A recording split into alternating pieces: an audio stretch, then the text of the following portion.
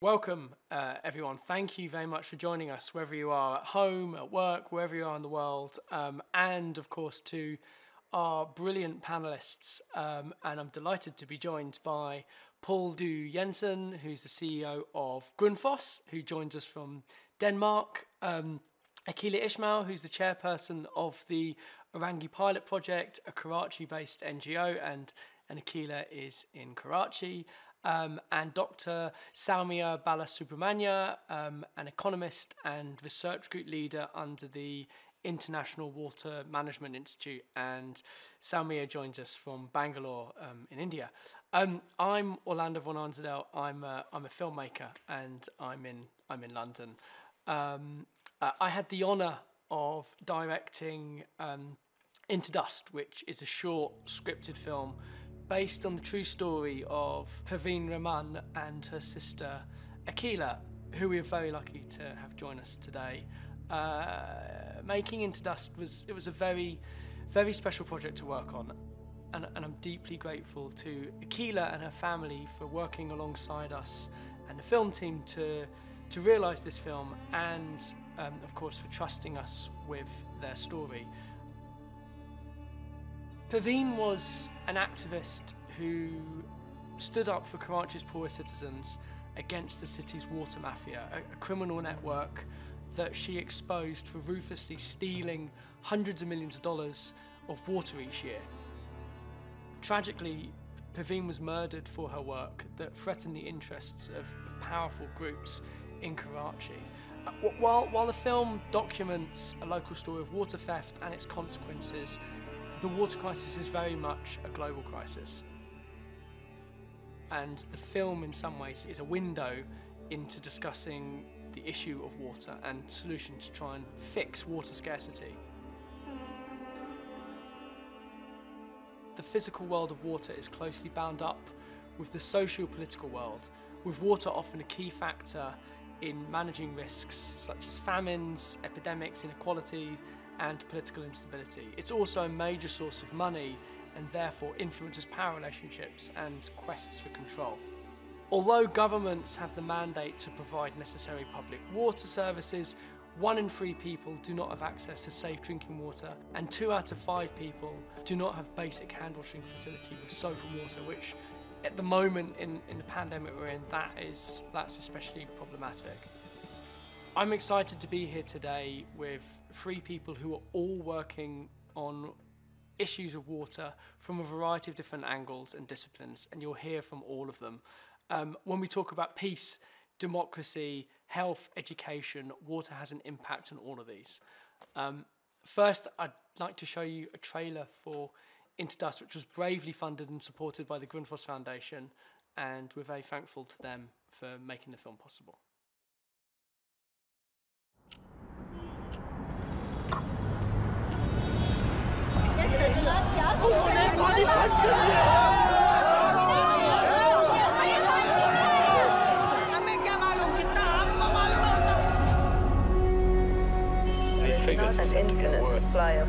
Water in to heightened scarcity around the world. not have water to meet demand. शहरियों के मुताबिक पानी की कमी खतरनाक हद को छू रही है मेरा नाम परवीन रहमान है आपके इस इलाके में मेंस वाटर सप्लाई है Did you know they were cutting water in Orangi? It's not cutting, it's rationing. Then it should be equal across the city, right?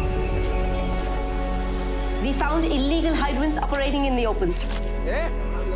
Someone is protecting them.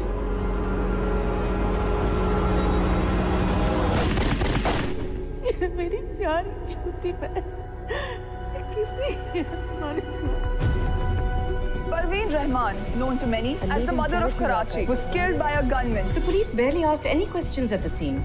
No investigation. To kill Perween, they had to only pick up the phone and they can do it again. We all know what Perween was doing and who benefits from corruption in this city. If you publish this report, you will make enemies and they will retaliate. Our police and politicians are in their pockets. It's a mafia. So let's name it. The criminals who used to deal drugs and guns are now stealing our land and water. If we don't stand up now, what will be left?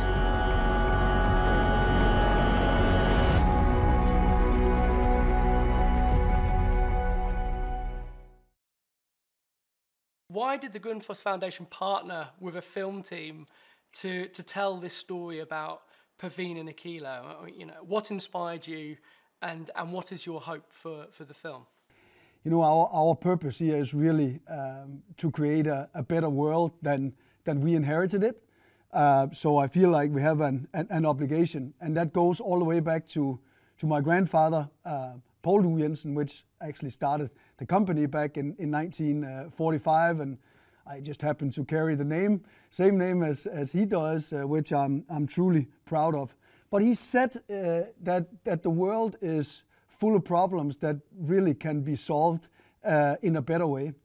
And, and that was some of the background for why we feel like we have an obligation really to do, to do something uh, uh, different here. Um, so, so that's first of all what inspired me. And, and um, you can say uh, today Grundfos is, is the world's largest pump manufacturer, but it's actually owned by a foundation. And, and that foundation, my grandfather established basically to, to secure and, and make sure that, that Grundfos would basically sustain itself and, and uh, continue with the best interest in, in society um, going forward. So, so, so it's about the water issue, but it's certainly also around the fact that it actually it, it, it celebrates and, and, and applauds the people that dare to, to stand out and make a difference. Thank you, Paul. Um, I, would now like to take us to Akila Ismail. Um, as you saw a bit in the trailer, the, the, the film is based on, on a true story. Um, and um, when Perween was, was, was tragically murdered, um, her sister and author and social worker and electrical engineer, Akila returned to Karachi from where she was living in the Middle East to seek justice for Perween um, and take on the running of the Orangi pilot project, um, continuing her sister's work. I, I um I was deeply I was deeply moved by um, your story, Akila, and, and, and that of Perween's, and your work fighting for justice in a very difficult situation. Um, I, I guess as a filmmaker, I've always been drawn to people and stories that that you know inspire inspire me on an individual level. Um, but your work and uh, your work is some of the most brave and, and, and important I, have I've ever come across. Um, so, so may, maybe we could begin, and I, I could ask you, what's the situation currently in Karachi with regards to water provision in the areas that you work in, and, and, and how is the OPP continuing um, the, the fight for, for safe access to water for, for the citizens of, of Orangi? So, you know, after Perween wrote that report on uh, which actually led to exposing the water mafia, I mean, she meticulously uh, uh documented what was going on. I mean, she could pinpoint where the water was stolen from and how much was being stolen and who was behind it. And can you imagine such a huge enterprise? And you know, we used to tell her, you know, okay, do you think, you know, you, you do you think you should do this? She said, yes. You know, my people in Orangi, they have to wait up all night every 15 days to get water.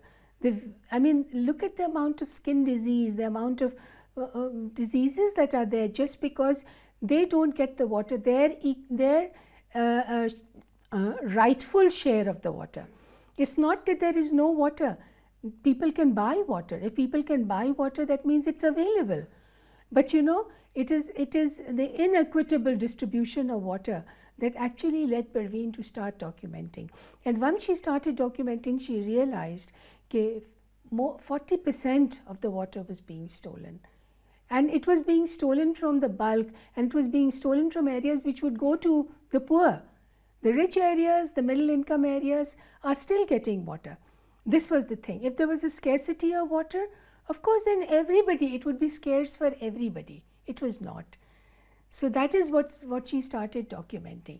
Now, since the expo expose on water, of course, Perween was under threat. She had, she had upended a huge empire of water theft.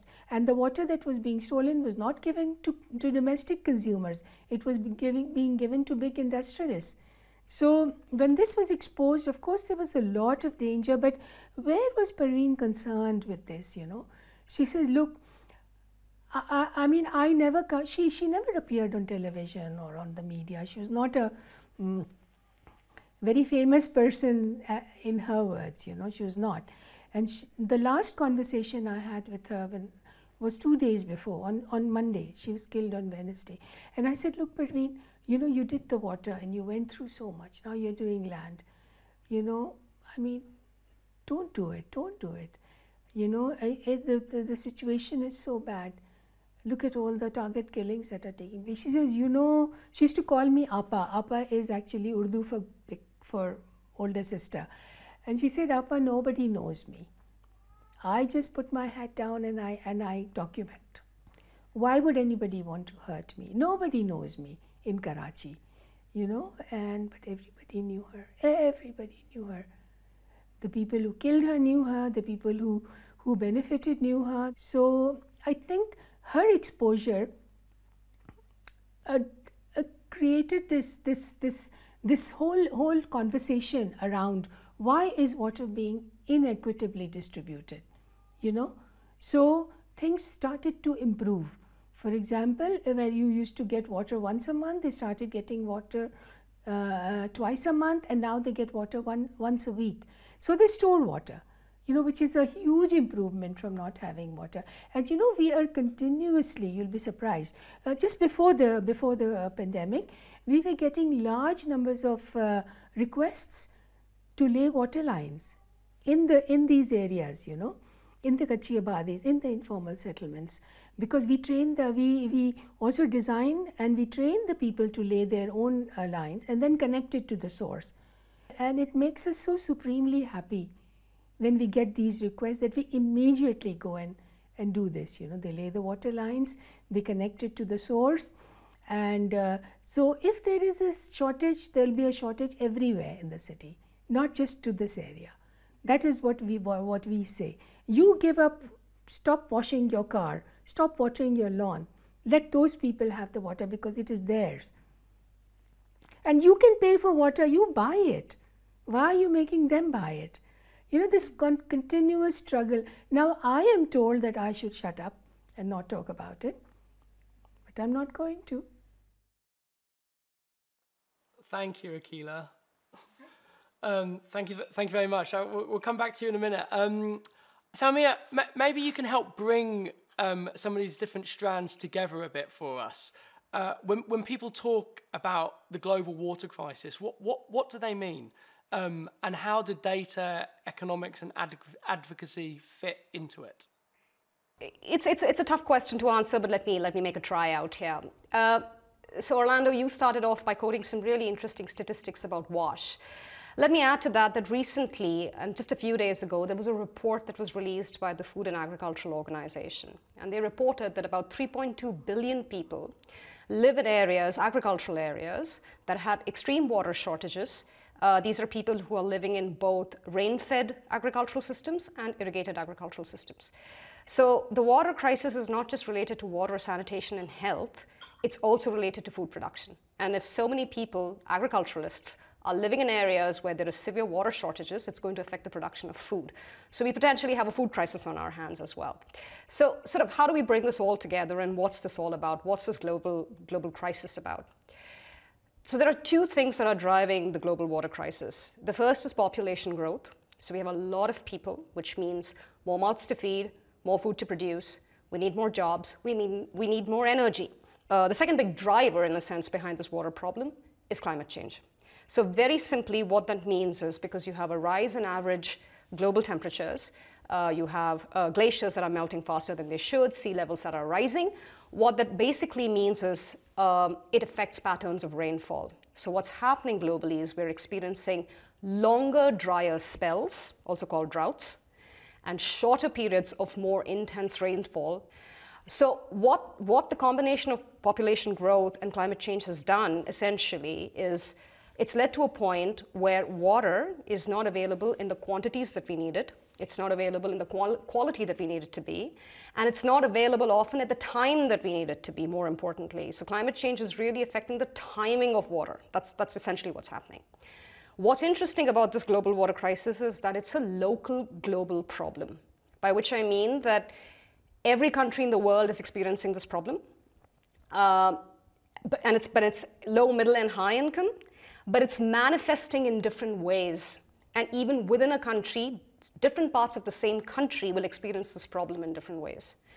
What's worrying about the problem is that the uh, solutions that we have at hand, which are essentially either trying to augment water supply, that's often done through infrastructure, or managing the demand for water, which is often done through things like scheduling or water pricing or quotas or you know, things like that.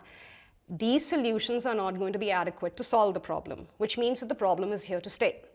And that means that we'll have to adopt, adapt to a new way of living and we don't know what that really entails. We're not even sure of the consequences of what this problem would be and in the different ways that this problem would manifest itself. But the one thing we already know for sure is that this global water crisis has already affected the poor and the marginalized. And as we move into the future, the poor are likely to disproportionately uh, bear uh, the burden of this problem. So let me just give you a few examples to sort of uh, you know, stress upon how varied the problem is, but also how common the problem is. So let's go to Bangladesh, you know, a low-lying country, the southern parts of Bangladesh, highly prone to sea level ri rise and very likely will get inundated. And this is low-lying land that uh, that has always been um, managed by building polders and making sure that the land doesn't get inundated so, so quickly.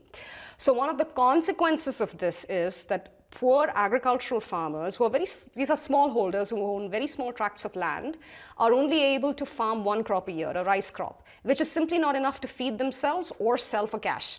So you have a lot of domestic migration where people leave these agricultural lands and go into cities and end up often living in uh, it, you know, uh, informal settlements, kachiabadis, as, as Akila is talking about, where you're not going to have access to water and sanitation, where you will, you know, you are vulnerable, and if you want to get water for your basic needs, you'll have to purchase it often at pretty high prices. But it's not just low and middle income countries. I mean, think about Southern Europe. Southern Europe is going to bear the brunt of climate change in Europe because water availability in Southern Europe is going to fall. So if you're a family farm um, in, in, in Italy, and you know, it's very hard to even break even if you're producing wine and cheese now. And so your entire way of livelihood is going to get affected. Your way of living is going to get affected uh, because it doesn't rain at the time it's supposed to rain. The humidity is not right. The moisture is not right. The grapes don't harvest properly. It affects the quality of wine. It affects your, it affects, you know, it affects your profit. So whether you're a small agriculturalist or whether you're a person who likes to drink wine, you have a lot of reason to be worried because of this global climate crisis. So you talked about what can we do and you know what's the role of sort of different components. So one of the big things, of course, is that we need bigger data. And one of the interesting things about water is that most of the data that we have um, actually comes from satellites. So this is really big picture data, data that's applicable over very large distances. So if you want to think about solving water problems, which are in a sense, local problems, this data is not going to be helpful at all. So what we really need is data from the ground, high frequency data, not just on the biophysical side, which is about how water moves and where it goes, but you also need socioeconomic data about what do people do when they face water, water shortages. Um, you know, what are the challenges that they're facing? What are the, what are the, what are the, what are the methods and the techniques that they're already adapting to change? Because people are not going to sit around twiddling, twiddling their thumbs. They're obviously doing something. So we need better data. Uh, what does economics do for us? Um, economics is the science of trade-offs. So because the situation is here to stay, we're going to have to make some tough trade-offs. So what are the trade-offs that we as a society are willing to make that we can live with? How do we balance efficiency with distribution, equity, and justice? These are the sorts of questions that economics as a discipline can answer. Thank, thank you, thank you very much. Um, I, I mean, your, your, sort of your last point, talking about solutions, brings me on to, to the next question, um, and, and I sort of want to pose it to all of you um, in, a, in a different way. Um, what what is something you see as a solution from where you sit, a way of tackling water insecurity when the issues differ so greatly in in many areas, governance, collective action, innovation. Um, what do you think needs to happen? Whether you are someone directly affected by lack of access to water, or someone affected by flooding, by a polluted river in your neighbourhood, or you mistakenly think water will never be an issue for you because you can turn on your tap and clean water pours out. Pours out. And maybe I could start to, to you, Paul. Um, is is innovation in manufacturing, water reuse, treatment, solar pumps, partnerships, raising awareness? Is is that is that a solu- is that a solution that, that you see for the future? So as as Soumya said, you know, we have situations with floods and melting glaciers, uh, rising seas, intense storms and whatnot w- with the climate, and then you have areas and um, and uh, it's actually all over the world where you have uh, areas, cities in in the brink of actually just going dry. So major major water scarcity around the world. Um, there's, this is impacting, of course, millions of, uh, of, of, of, people, and, and, and how, how can we deal with that? And I think one, one way, or, or at least one point that's, that's important to, to, to state here, that may not be, be obvious to all, but, but having on one side, having uh, the, the climate situation, and then one on the other side, you have, so to say, the water side of things. The, these two things cannot be seen separately, they need to be combined cannot be in silos. They, they need to simply uh, fit together, and we need to find solutions for both of them. Um, and, and, and if and when possible, basically uh, at, at, the same, at the same time here. Um, so we need to reduce the, uh, the, uh, the, the, carbon footprint. There's absolutely uh, no doubt on, on, on, on that. But, but we also need to understand better how do we at the same time then, uh, then, manage these water challenges that we actually are seeing uh, across the world? Um, and, there are ways, there, are definitely ways um, to, start uh, solving these. And, one way would be to, to adapting and, building codes, for instance, for, for various extreme weather events. The fact that we, we can also built various flood defenses, uh, which, is, uh, which is extremely important, and actually built more around the strength of water efficiency is, is extremely important here. And, and, and the solving of this, um, it, it's not just kind of us here, you know, it, it, it's everybody. It's, it's around governments, they play a huge role here. Um, it is around businesses, it's around the local communities, but it's actually about everybody. And, and all of these uh, uh, very important stakeholders, they all play a very, very important role in order for this actually uh, to, to come together. And, and it's only by doing that, I think that we will have a, a solid chance to actually save and conserve both the, the, um, the, the climate side, but certainly at the same time also then, then the, the, the waterfront and save that, that precious uh, resource that, that we have in front of us. So we all need to come together in order to, to solve that, uh, that issue.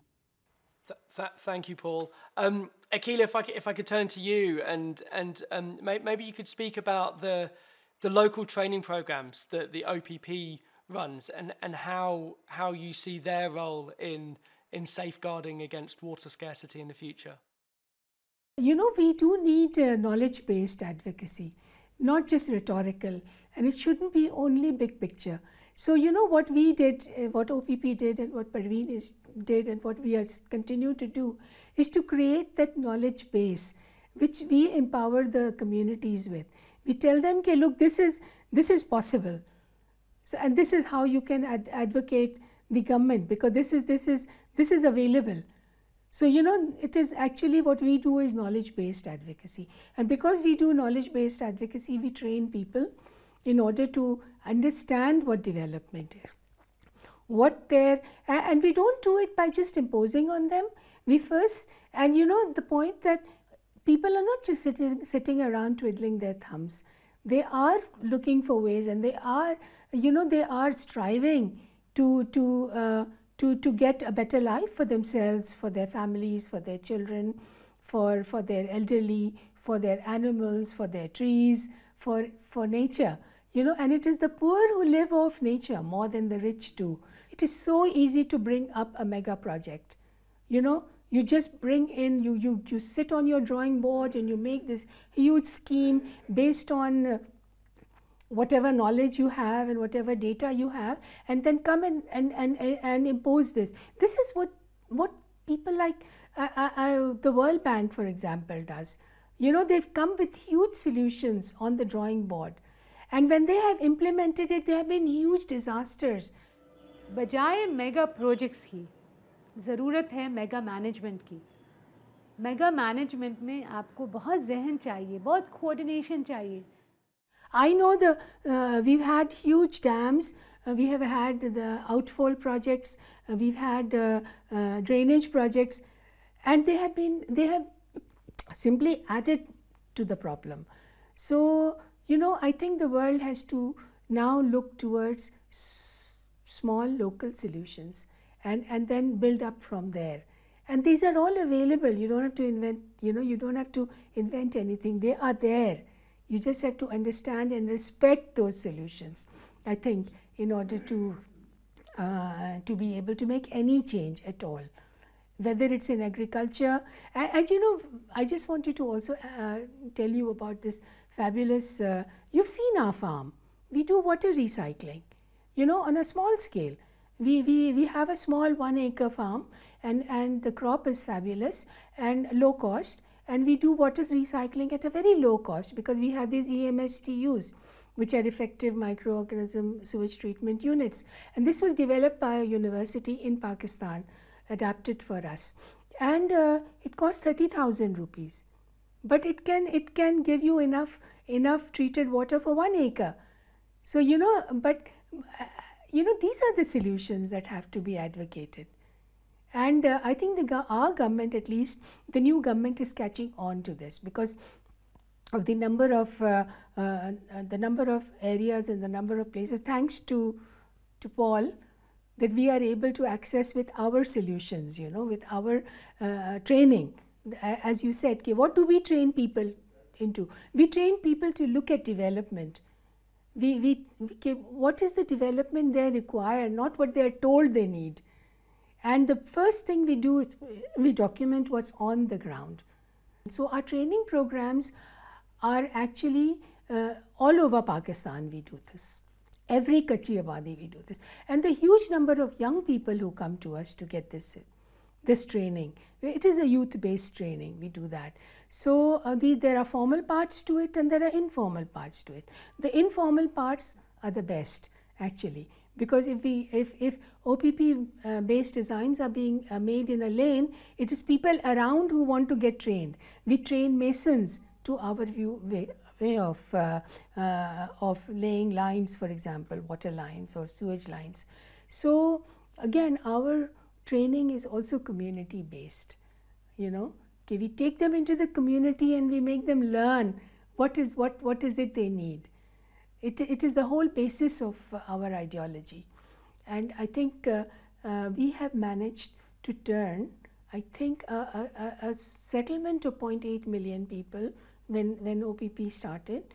I think now it is a thriving township of 2.1 million people with schools, with clinics, with government schools, with government hospitals, and it has been given a recognition as a formal settlement now. We continue to call it a Kachi Abadi because because that the name sticks, but it is a, a, a formal settlement of a formal settlement with upward mobile people. I mean, you know, because their economic conditions also also become better when they have better health, and one of the main things is their access to to uh, number one to water and number two for disposal of uh, the sewage.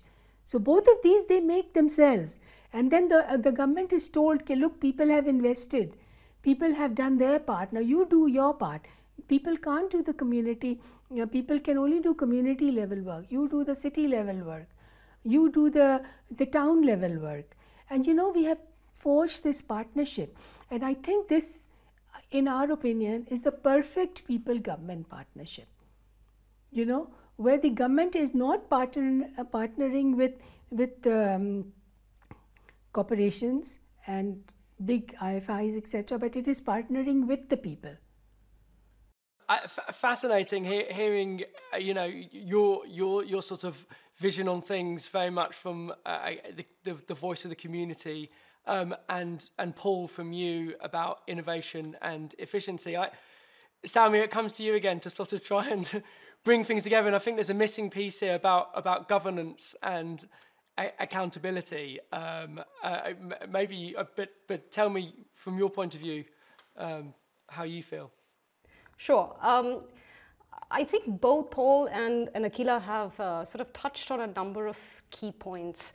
So the first thing is, I think, what needs to be done a little differently when it comes to sort of water and indeed just development in general, is we need to sort of mainstream the question of equity a bit more than we have in the past. You know, uh, a lot of resource management is usually around questions of efficiency, which is very important because the resource is scarce but to give to, to sort of give an example or to maybe maybe use a sort of a parable you have a certain set of resources and you want to make as much pie as you can from it which is a good thing because there's more pie to go around but another way of looking at it is to say how do we spread this resource around so that more people can make pie and so that there is also more pie in the end and I think you need a balance of those two approaches, especially when it comes to water. I mean, uh, just thinking about it from just an efficiency perspective will miss the problem of distribution and equity.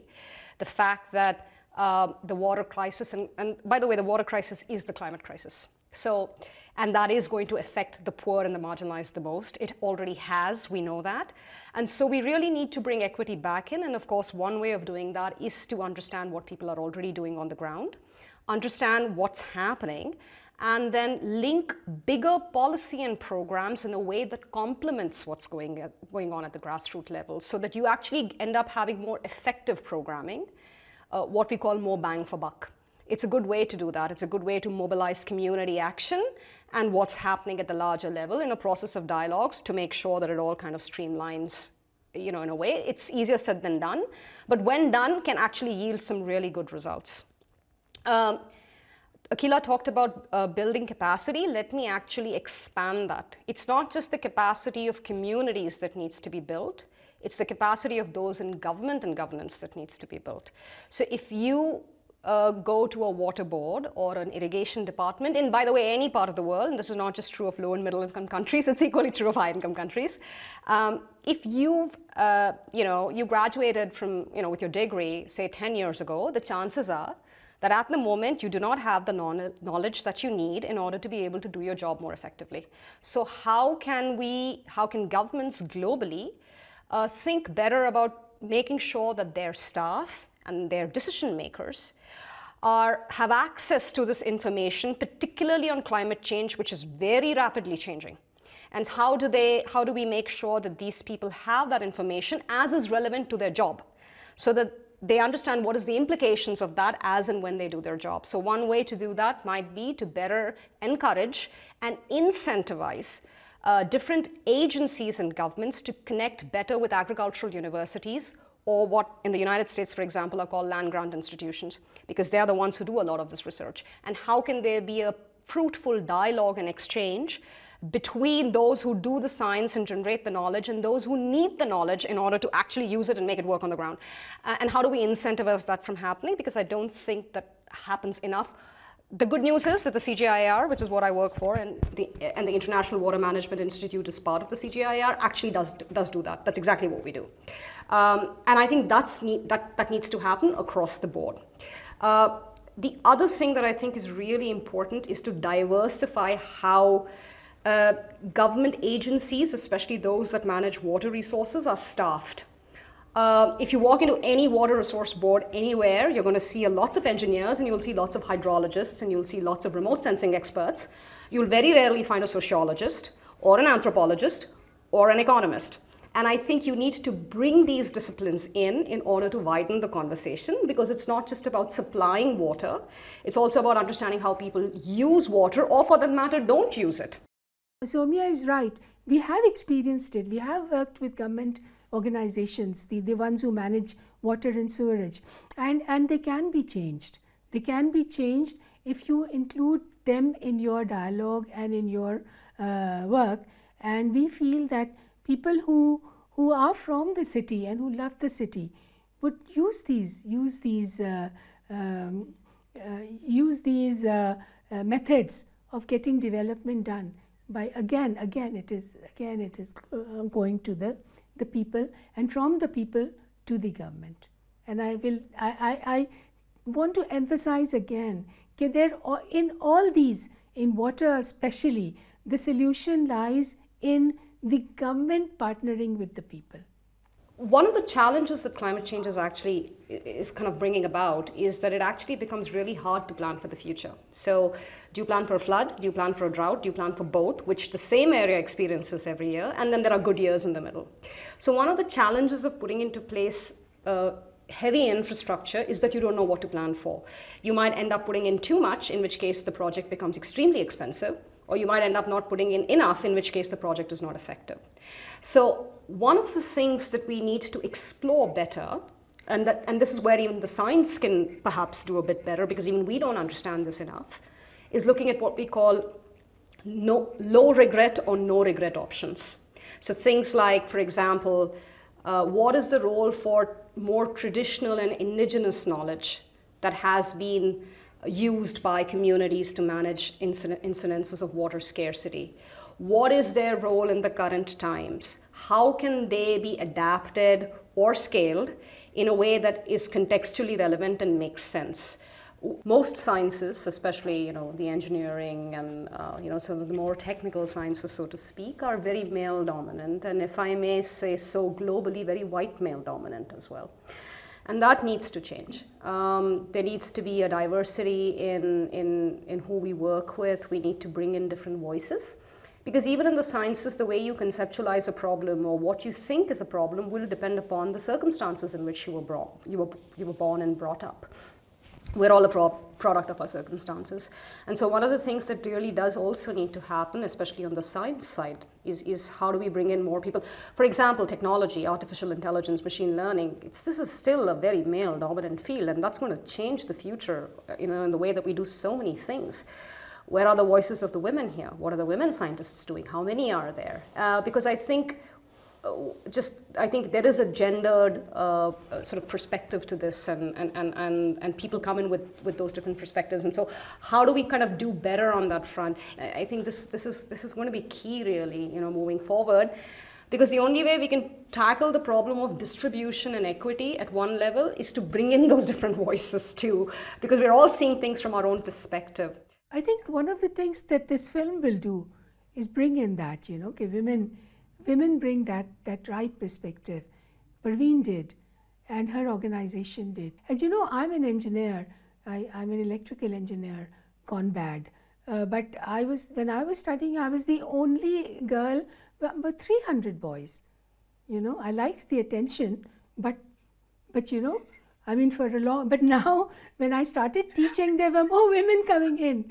So, so you know, I mean, it is changing, but we need to drive it, and I think women can do it only. Women can drive other women into the folds, take them into the fold of uh, understanding, of contributing, of giving them an opportunity to contribute. I, I just wanted to, to throw back to Paul and, and ask about the role of the private sector in in things because I think that's uh, that's that's a clearly uh, can play a really important role too.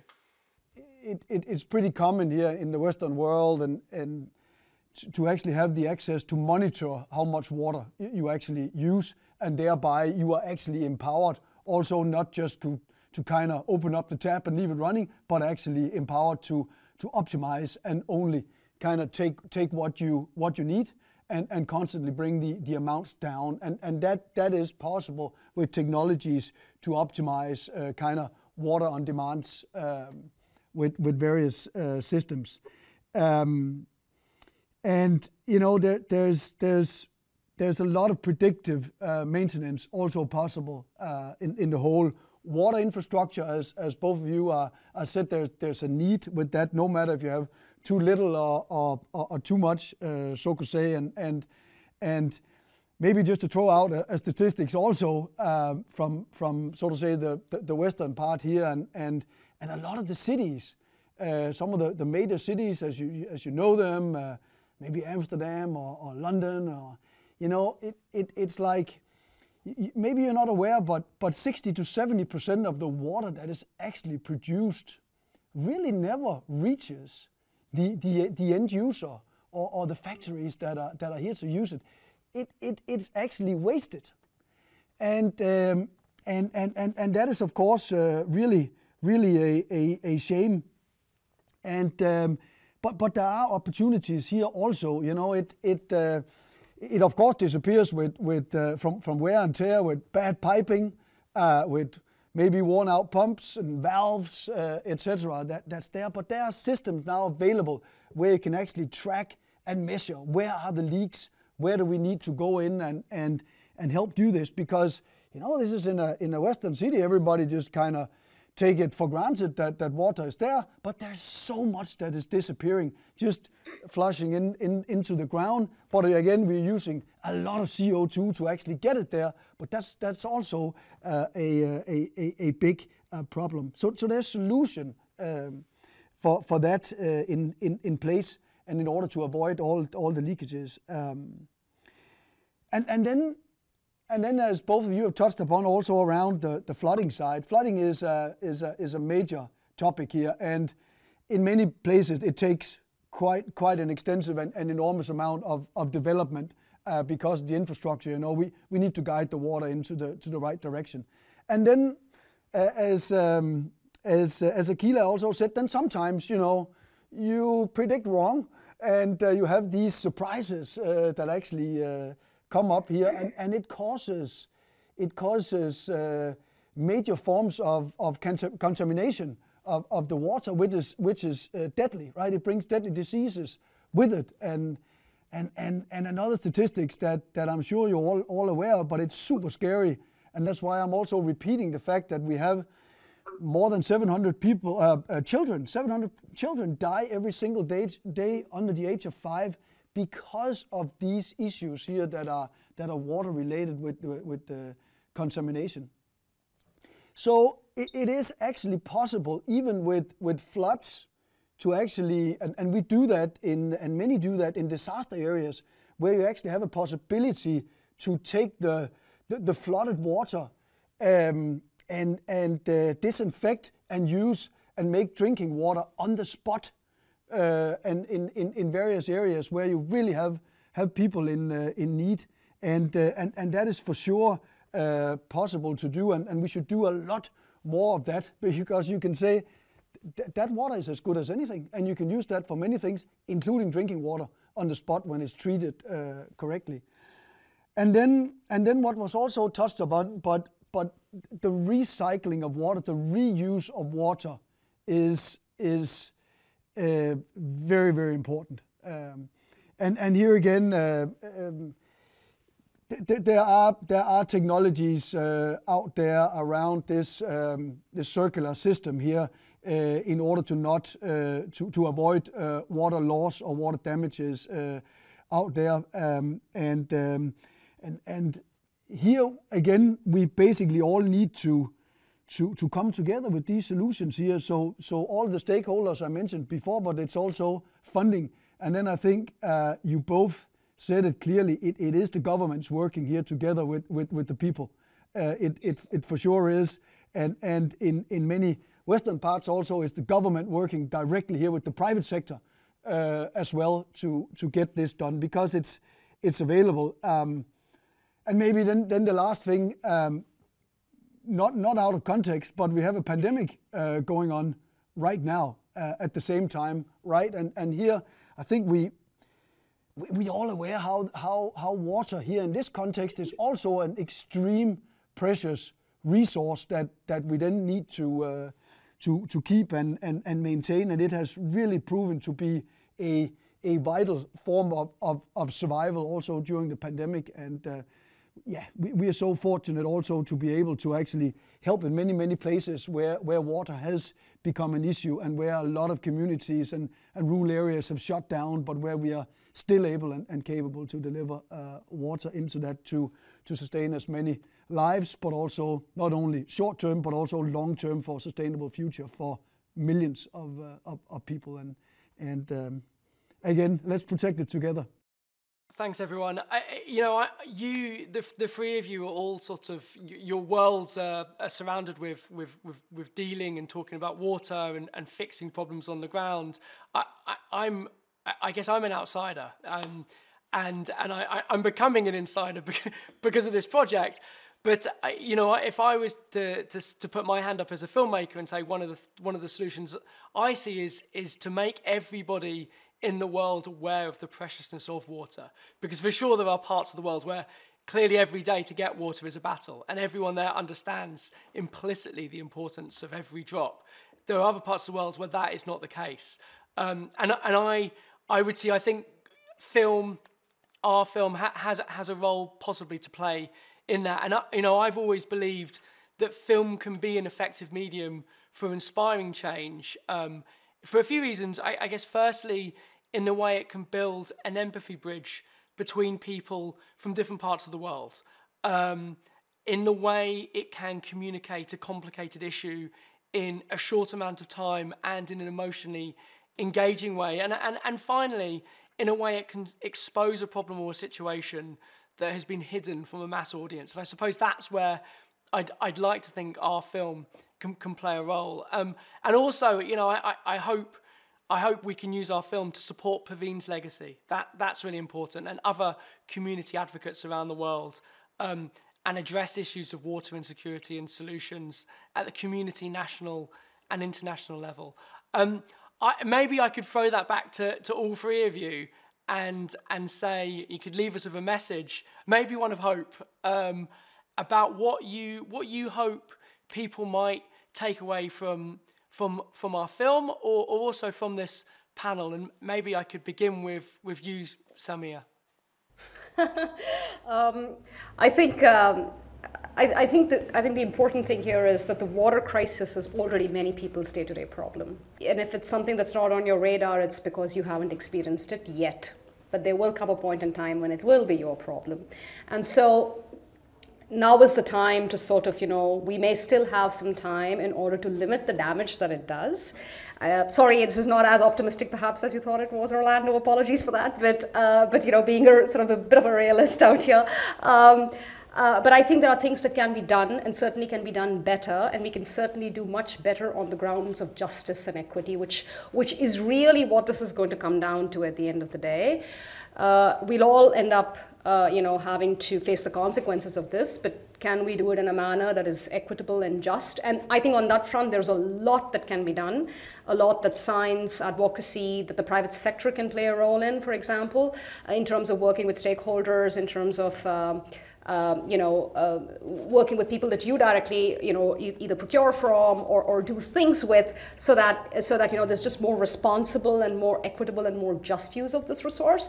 So I, I think there's a lot that can be done on that front, uh, and I think we should be doing it. Yeah. Thank you, Paul. What what what do you hope um, people can take away from from this panel and and and the film? We, we are Grundfos as, as a company and, and the foundation, you know, we want to make a, a difference uh, to the world. There's absolutely no doubt, and, and uh, we are set in the world to improve um, not only the, uh, the water issues, but also uh, all around the energy efficiency level and, and really create a, a better world out there. And I, and I think we are, we are, there's a long way to go, but I think we are, we are making progress here together with, with a lot of other uh, fantastic stakeholders. Don't give up out there uh, we can do this together. And I think the way that, that Perween and now with, with Akila forefronting uh, OPP and, and, what they do is a fantastic example of an engagement and what can really happen. And I was truly inspired by, by both of you to hear your stories, um, and but also how we can we can solve these issues uh, here uh, together. So, with that, um, I'm just truly excited uh, that uh, we can be part of this project. Thank you, Paul. Um, Akila, I, I find maybe a final, a final word from you. Um, what hopes do you have that, that the film might play or, or that people watching this today can, can take away? Um, you know, Perween used to always say that yes, there are many problems in the world. There are bomb blasts, there are Taliban, there are, you know, all kinds of atrocities being committed. But she said that there are everywhere people aspire, you know, working for a better life, for to, to attain a better life. It is this that we have to look at. It is this that we have to look at with eyes of respect. And this is what will give us hope and optimism that yes, there are people all over the world who, although faced with such great odds, you know, odds that we would probably succumb to, but they still continue to persevere. And there is one other point that I want to make about Perween, which gives us so much hope, and that is that she believed in the power of women. She believed in that completely because she said, okay, you know, when I take, when I work with a man and I teach him something, when I train him to do something, and when I build an organization with them, they do it to attain power. But when I do it with women, they do it to better their communities. So I think uh, uh, the, the, I, I think the film has touched upon the fact that women are very important to, to this whole uh, uh to betterment of life, you know, because it is they who are affected the most I think, especially in, in low-income communities, they're the ones who are affected the most. And but they, the solution also lies with them. And if you can get women to to understand and to to to inspire, if this film does that, and this film shows that you don't have to be uh, uh, uh afraid, that you can you can dare to be Perween, you can dare to be Perween by simply asking for uh, for equality and justice. And you know, and that is why we continue to strive for justice for her because she did it for everyone. She, and so we, we continue to do that. And I think that is her legacy that one must always work towards getting this justice. And you know, like Dr. King said, Dr. Martin Luther King said that the arc of the uni- the arc of the moral universe is long, but it always bends towards justice. And that is that I think was a driving force in Perween's worldview. And, and we are trying to follow that. And I don't know, I mean, it's a very, uh, she, she followed a very, uh, I mean, she was so supremely happy with what she was doing. There was never any time when she would give up. But I sometimes feel it's too much, I can't do this, you know. But, but then I, I think of her and she would say, No, really, really, Appa, you think they can't do it? Of course they can do it. Just just look at it this way or that way, you know, to convince. So so you know she's there. There's not a nanosecond that I'm not aware of her. And uh, and I think there are many, many people like me who have worked with her, her team who you have met, and uh, people in the community who, who called her Baji, which means big sister. So you have these 80 year old men calling her Baji, which means older sister. So, you know, her legacy lives on and it will continue because it was so based on such a simple truth that the arc of the universe is long but it bends towards justice.